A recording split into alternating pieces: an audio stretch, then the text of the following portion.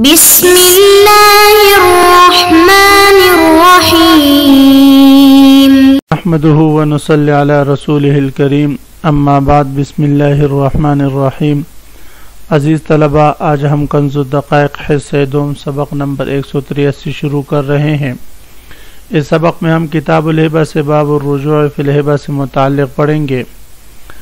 آج کے اس سبق کا خلاصہ یہ ہے کہ رجوع فی الہبہ یعنی واہب کا شے موہوب موہوب لہو سے واپس لینا ہبہ میں رجوع کرنا، یہ جائز ہے عند الاحناف، لیکن ساتھ موانع ہے ان موانع کے پائے جانے کی وجہ سے پھر اس کا حق رجوع ساقط ہو جاتا ہے، پھر اس کے لیے رجوع کرنا جائز نہیں ہوتا۔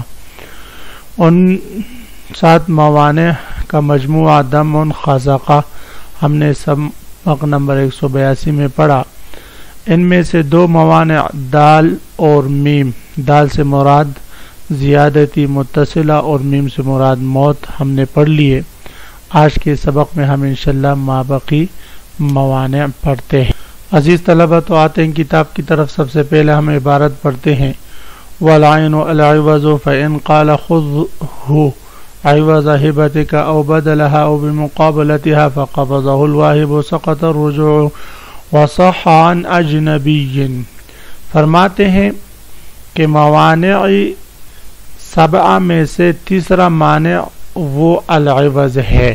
دمع خزاقہ میں میم اور کے بعد جو عین آتا ہے دمع میں عین سے مراد العوض وہ عوض ہے۔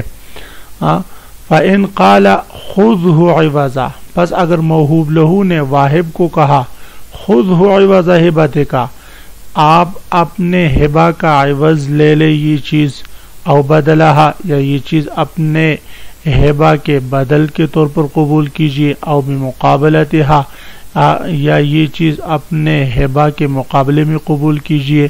فقبضہ الواہب واہب نے وہ چیز قبضہ کر دی، سقط الرجوع. تو اس کا رجوع کا جو حق ہے، وہ ساقط ہو جائے گا.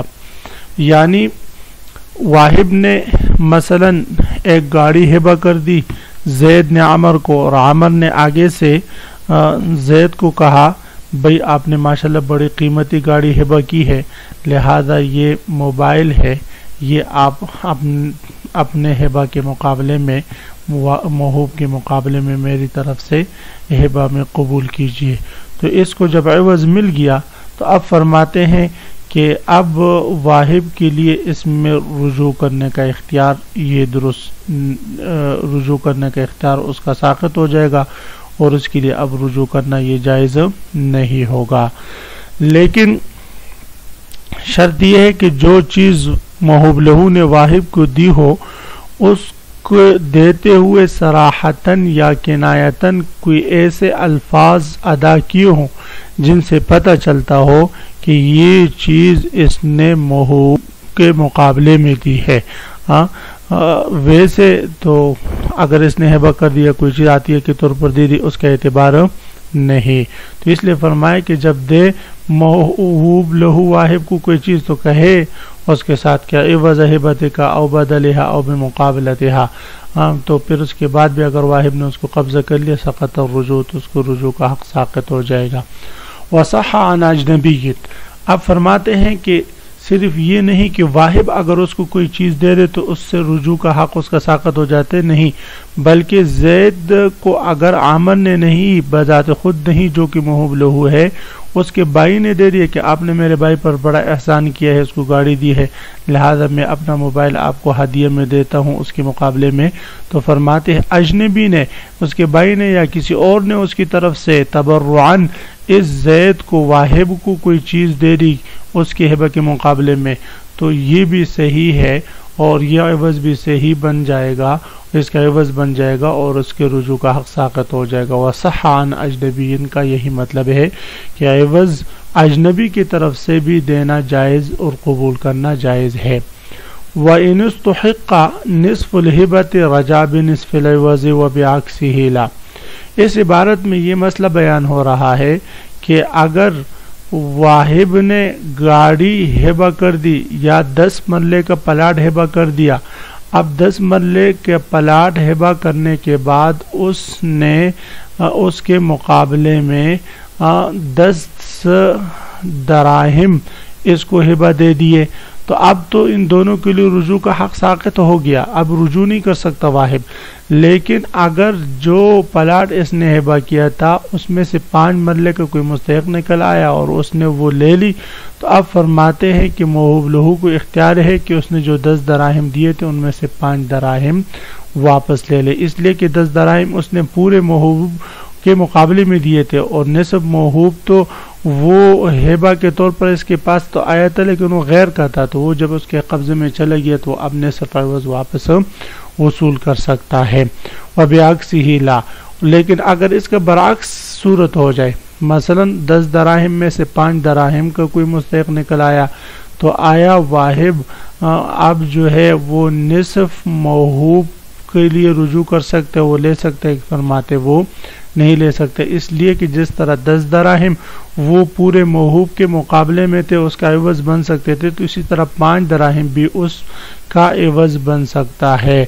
ہاں اگر اس محوب کو وصول کرنے کے لیے یہ شرط ہے کہ واحد نے جو عوض اس کے پاس باقی بچا ہے، وہ اس کو واپس لوٹا دے محب لہو کو اگر اس نے وہ عوض واپس لوٹا دیا پانچ دراہم، تو پھر وہ اپنا شے محب اس سے واپس لے سکتا ہے۔ وَإِنِسْتُحِقَّ نصف الحبت اگر کوئی شخص مستحق نکل آیا نصف حبہ کا رجا بنصف لوزی تو محوب لہو رجوع کر سکتا ہے اپنے نصف عوض کا۔ اب عکس ہی لا، لیکن اگر اس کی برعکس کی صورت ہو کہ نصف عوض کا کوئی مستحق نکل آیا، تو واحب اس نصف محوب کا لیے رجوع نہیں کر سکتا۔ اب عکس ہی لاؤ وہ رجوع نہیں کر سکتا۔ حتی یرد ما بقیہ، یہاں تک کہ لوٹا دے واحب وہ عوض جو باقی بچا ہے اس کے پاس جو ما بقی عوض ہے وہ لوٹا دے محبلو کو دے دے، پھر اس کے بعد اپنے حبا کے لیے رجوع کر لیں۔ ولو عوض النصف رجع بما لم يعوض۔ اب صورت مسئلہ یہ ہے کہ محب لہو نے اس حبا کے مقابلے میں پورے محوب کے مقابلے میں کوئی چیز بطور عوض کی نہیں دی، بلکہ اس کو یہ کہا کہ آپ نے جو دس ملے کا پلاٹ دیا ہے، یہ چیز تو اس کے مقابل یا اس کا عوض تو نہیں ہو سکتا۔ چلو، آپ اس کے ایک سلس یا نصف کے عوض کے طور پر اس کو قبول کیجیے۔ اور اس نے نصف کے عوض کے طور پر وہ دس درائم قبول کر لیے۔ تو فرماتے ہیں اگر واحب مابقی نصف میں رجوع کرنا چاہتا ہے یا سلس کے علاوہ مابقی میں رجوع کرنا چاہتا ہے تو کر سکتا ہے۔ ولو عوض، اگر محوب لہو نے نصف محوب کا عوض دے دیا رجا تو واحب رجوع کر سکتا ہے بیمال معوض اس حصے کا جس کا عوض محوب لہو ادا نہیں کر چکا۔ والخاء خروج الحبت من ملک الموہوب لہو۔ دمع خزاقہ چوتھا حرف خا ہے۔ خا سے مراد کیا ہے؟ خروج الحبت من ملک الموہوب لہو۔ ہبا کا یعنی شے موہوب کا، موہوب لہو کی ملکیت سے نکلنا۔ اگر شے محوب محوب لہو کی ملکیت سے نکل جائے تو فرماتے ہیں اس صورت میں اب واحب اس میں رجوع نہیں کر سکتا۔ جب اس کی ملکیت میں باقی نہیں رہا تو اب اس کے لیے رجوع کرنے کا جو حق تھا وہ بھی ساقت ہو جائے گا۔ کیوں بھائی محوب لہو نے وہ دس ملے کا پلاٹ آگے بیچ دیا۔ یا جو آگے کسی اور کو ہبا کر دیا وغیرہ ذالک اور اس کے عوض بھی لے لیا۔ تو فرماتے اس صورت میں اب واحب اس سے رجوع نہیں کر سکتا کیونکہ اس محوب لہو نے جو یہ چیز اپنی ملکیت سے خارج کی ہے، آگے فروخت کی ہے یا بیچ دی ہے یا ہیبا بلعوض کر دیا ہے، تو یہ ہاں، واحب کی طرف سے تسلیت تھی واہب نے ہی اس کو اس پر مسلط کیا ہے۔ تو لہذا واہب کا خود قصور ہے، اب اس کو اختیار نہیں ہے کہ ان تصرفات کے بعد محوب لہو کی ملکیت سے نکلنے کے بعد اس سے وہ چیز واپس لے لو، رجوع کر لے۔ تو فرماتے والخاء خروج الحبت ملک المحوب لہو خاص مراد ہبا کا نکلنا ہے محوب لہو کی ملکیت سے وہ بھی بے نصف ہا رجع فی اب صورت مسئلہ یہ ہے کہ دس مرلے کا پلاٹا اس میں سے پانچ مرلے اس نے آگے بیچ دیے کہ چلو اس کی قیمت لے کر میں ماں بقی پانچ پر گھر بنا دوں گا۔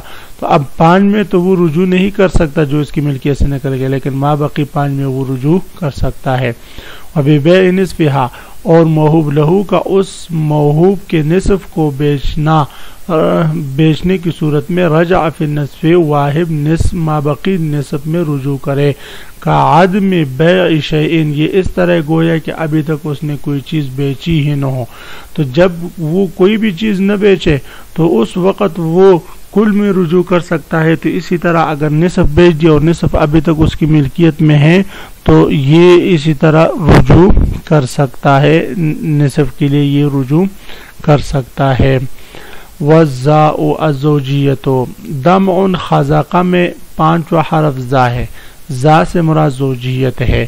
یعنی واحب اور محوب لہو کی مابین اگر زوجیت کا رشتہ ہے۔ دونوں میاں بیوی ہے شوہر نے بیوی کو کوئی چیز ہیبا کے طور پر دے دی، یا بیوی نے اس کو ہیبا کے طور پر کوئی چیز دے دی۔ تو اب رشتے زوجیت میں جو ایک دوسرے کو چیزیں بطور ہبا کی دی جاتی ہے، تو یہ صلی رحمی کے لیے دی جاتی ہے اور صلی رحمی کے تعلق کو مزید مضبوطی کے لیے دی جاتی ہے۔ تو ایک فائدہ اور ایک مقصد اور ایک عوض اس میں حاصل ہوتا ہے۔ اس لیے فرماتے ہیں کہ پھر بعد میں ان دونوں کو ایک اپنے شے محوب میں رجوع کرنے کا اختیار نہیں۔ فلو وہابا سما نہ کہا رجا ہاں اگر زید نے کسی اجنبی لڑکی کو کوئی چیز ہیبا کر دی ہاں دیکھی بڑی خوبصورت لگی، اس کو کوئی چیز ہیبا کر دی ہاں اس لڑکی نے کہا، یہ تو بڑا اچھا لڑکا ہے ہاں اتنی پیاری چیز اس نے مجھے گفٹ کر دی، لہٰذا میں اسے نکاح کر لیتا ہوں۔ پھر اس کے بعد زید نے اسے نکاح بھی کر لیا۔ رجا پھر اگر یہ اس شے محوب میں رجوع کرنا چاہے تو کر سکتے اس لیے کہ جس وقت اس نے ہیبا کی تھی، اس وقت تو اس کی منقوحہ نہیں تھی، رشتے زوجیت نہیں تھی۔ تو مطلب یہ ہوا کہ وقت ہبا رشتے زوجیت کا قیام ضروری ہے، وقت رجوع میں رشتے زوجیت کا قیام ضروری نہیں۔ تو یہ رجوع کر سکتا ہے اگرچہ اس وقت زوجیت ہو اور بالعکس لا ہاں اگر زید اور اس لڑکی کے درمیان نکاح ہو چکا ہے، زید نے اس کو کوئی چیز قیمتی چیز اس کو ہیبا کر دی۔ پھر بعد میں دونوں کے درمیان جدائیگی ہو جاتی ہے۔ تو فرماتے جدائیگی کے بعد اب زید اس سے رجوع نہیں کر سکتا۔ یہ پہلے والی صورت کی بالکل برعکس ہے۔ اس لیے کہ جس وقت ہیبا کیا تھا، اس وقت رشتے زوجیت قائم تھی۔ تو عزیز طلبہ، اسی مسئلے کے ساتھ آج کے سبق کا اختتام ہوا۔ آج کے سبق کا خلاصہ یہ ہے کہ ہم نے دم ان خزقہ یعنی باب الحبا میں رجوع واحب رجوع کر سکتا ہے یا نہیں، تو اس میں جو چاند، سات موانع ہیں، ان میں سے آئین یعنی عوض اور اسی طرح اس کے بعد ہم نے خروج الحبا میں مل کے محب لہو اور اس کے بعد زوجیت سے متعلق پڑھا۔ یہ تین موانع ہم نے پڑھے۔ ان کی تفصیل کل انشاءاللہ عزیز طلبہ آپ حضرات بتائیں گے کہ زید نے بکر کو گاڑی ہیبا کی اور بکر نے اس کے مقابلے میں موبائل دیا کہ اس کے عوض کے طور پر قبول کر لو۔ تو اب زید بکر سے وہ گاڑی واپس لے سکتا ہے یا نہیں؟ آپ نے اس سوال کا جواب تلاش کرنا ہے۔ واخر دعوانا ان الحمدللہ رب العالمین۔